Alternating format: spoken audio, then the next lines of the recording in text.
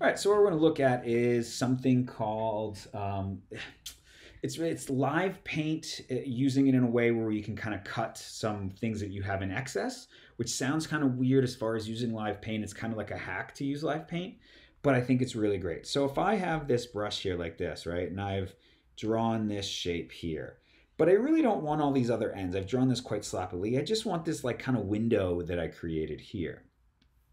What I'm going to do is has to work with shapes and not um, as a line segment or um, a stroke. So I need to convert that, right? So we're going to go object, expand appearance.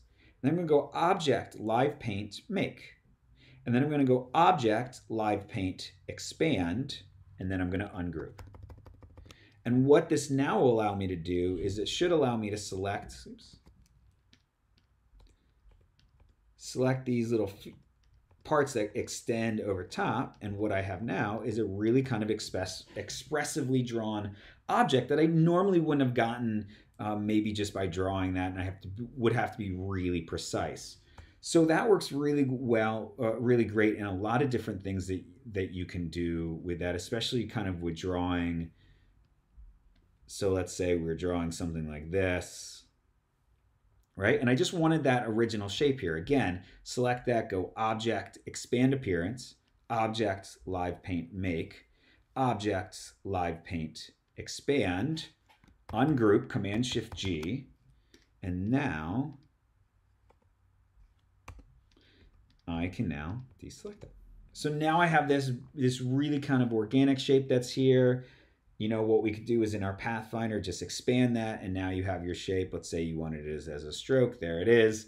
And now you've created that real easily using just a couple brush lines um, with that. Someone once asked me, could I do that with, let's just get a bigger weight line. If I just did some lines, could I get that same effect? Right? So object, expand appearance Let's make sure that is totally expanded. Is object, uh, live paint, make, object, live paint, expand, ungroup,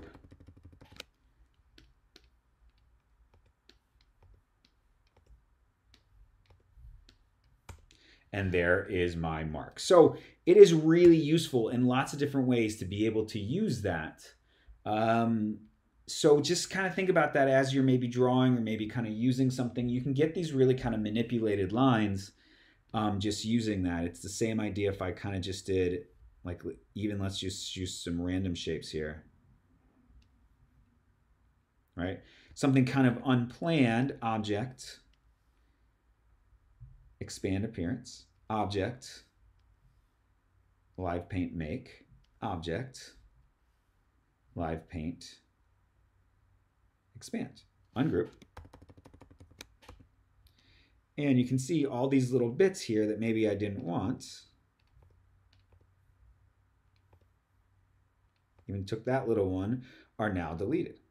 And now I have this, you know, maybe this is interesting, maybe it is, isn't. Let's cut that off. Let's cut that piece off.